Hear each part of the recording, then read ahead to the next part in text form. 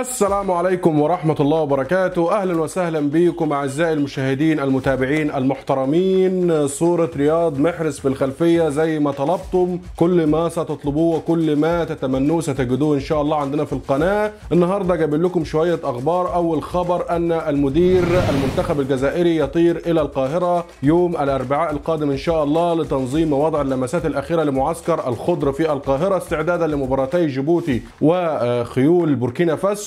في الجولتين الخامسة والسادسة لحسم بطاقة التأهل للدور الحاسم إن شاء الله في كأس أو تصفيات كأس العالم 2022 ده أول خبر معانا. أمين العبد إن شاء الله في القاهرة يوم الأربع لوضع اللمسات الأخيرة لمعسكر الخضرة. الخبر الثاني هناك أزمة بين بعض اللاعبين والفاف الجزائري.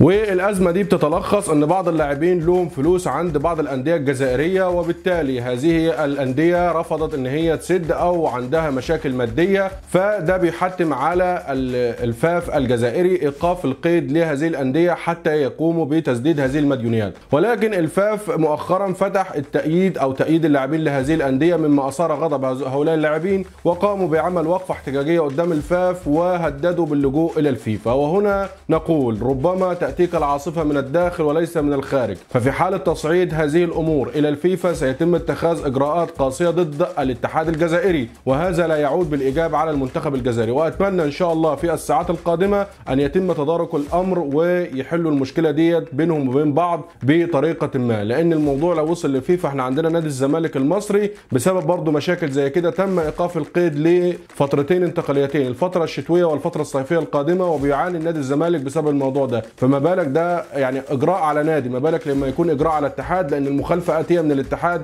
وليست آتية من النوادي. وهنا إن شاء الله نتمنى الموضوع يعدي على خير. ونقول للأطراف التي تنفخ في الرماد كفوا أيديكم عن الكرة الجزائرية لأن بعض الأطراف من الداخل ومن الخارج لا تريد الخير لمنتخب الجزائر ولكن إن شاء الله مربوحة. الحاجة الثانية اللاعبين الجزائريين يتوهجون يتوهجون بشكل كبير في في ال الدوريات الأوروبية. عندنا الدوري الألماني الدوري الفرنسي الدوري الإنجليزي وحتى الدوري الإيطالي. عندنا إسماعيل بن ناصر يقود ميلان للفوز على روما. عندنا رامي بن سبعيني يفوز مونشنجلادباخ على للفوز على بوخوم الألماني. عندنا ديلور وعندنا برضو عطال.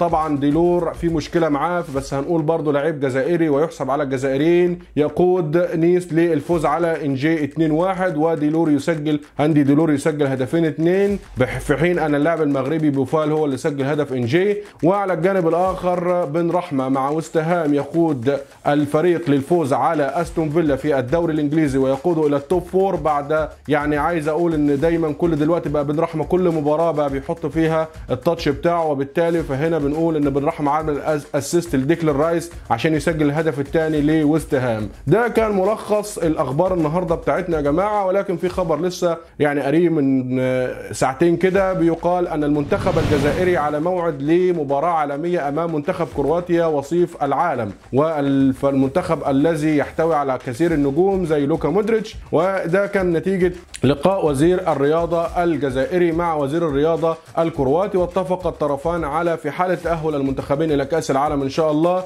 تقام مباراة دولية ما بين المنتخبين وتكون مباراة زي ما بنقول استعدادية للمونديال إن شاء الله. دي كانت معظم الأخبار اللي عندنا يا جماعة النهارده ونتمنى نتمنى إن شاء الله لمنتخب الجزائر الفوز والتألق في الفترة القادمة لأن منتخب الجزائر يستحق كل التحية والتقدير. أتمنى لكم إن شاء الله وأحب أشوف رأيكم الأول. عايز رأيكم يا جماعة في ال background الجديد ده؟ عاجبكم ولا في أي تغييرات ممكن نعملها؟ لأن أنا يهمني رأيكم كلكم. أتمنى لكم كلكم الصحة والسعادة وأتمنى لكم إن شاء الله محتوى القناة يكون عاجبكم. ولكن في حاجة عايز أقولها في الآخر يا جماعة الناس اللي بتشتم وبتنتقد الناس اللي ما زالت بتنتقد. وبتشتم بشكل يعني أنا مش عارف الناس ديت عايزة إيه بالظبط. ولكن في كل الأحوال بشكر الناس اللي بتدعمني بشكر الناس اللي كل يوم بصراحة كلامهم فوق دماغي وحاجة بتشرفني أنا وبقول للناس اللي بتشتم والناس اللي عمالة تشتم بالأم بالذات بالأم بالذات بلاش علشان ده غلط. لأن إذا كان لك ألسن فللناس إذا كان لك لسان فللناس ألسنه يعني نقدر برضه نرد الغلط بالغلط ولكن أنا مش هرد على الغلط والله يسامح الجميع. شكرا ليكم وأتمنى لكم السعادة. السلام عليكم ورحمة الله وبركاته.